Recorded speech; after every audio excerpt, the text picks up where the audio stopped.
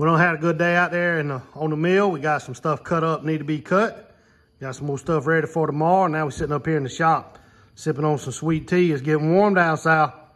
Have some questions about some of the axes in my collection. This is probably one of my most interesting pieces. It's a 10 broad axe, um, made somewhere between 1860 and 1898, I believe. So she's probably about 125 to 150 years old.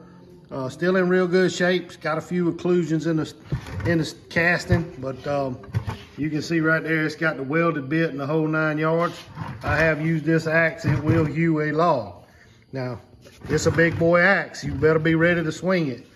Um, it does not have the original handle. That's much too long for what came in it, but that is a fine approximation as it does have the offset.